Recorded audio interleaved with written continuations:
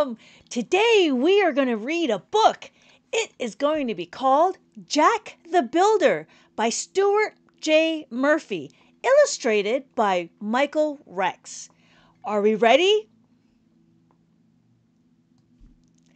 Blocks, blocks, blocks. Jack has a big pile of blocks. He can stack them, pile them, build them high. Just two blocks can build two blocks. We're going to do two blocks. So on the abacus, we have two. Two blocks, two beads. A robot toy to play with. Wow, do you see the robot toy? Ooh, and with the robot toy, I see the two blocks. One, two. One, two. Ooh, Jack has two blocks, right? He puts one more on top. And now there's three. Three blocks can be a hot dog stand to get a treat. Oh, yeah, I see it. There's one block, two block, three blocks. That green one is the third block. Jack has three, right? One, two, three. Jack has three. Now he will add two more, making it five. Four, five. So he has five blocks. He has two red round blocks with a green block and two blue blocks. Ooh, that's a tongue twister right there. Five blocks will make five. Remember, this is the five. Five a ferry steamboat out to sea.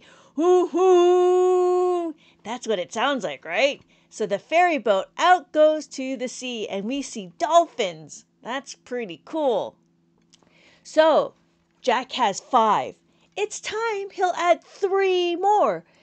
Five, six, seven, eight. This is eight.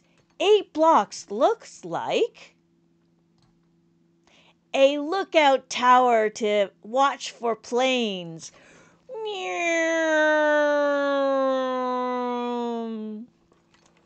So he has eight blocks, and this is the watchtower. Five, six, seven, eight.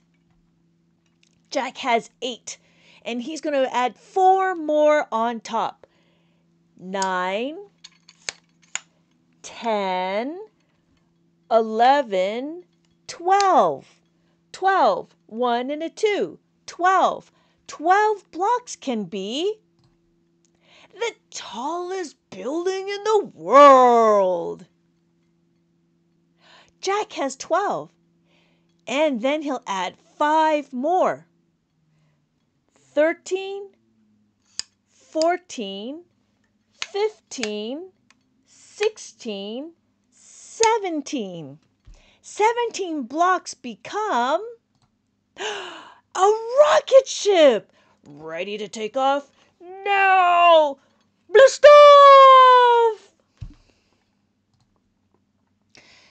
No more rocket ship, no more building, no more tower, no boat, no hot dog stand, not even a robot friend. Nothing but a pile of blocks.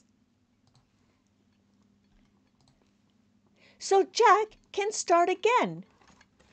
And that's it. The end.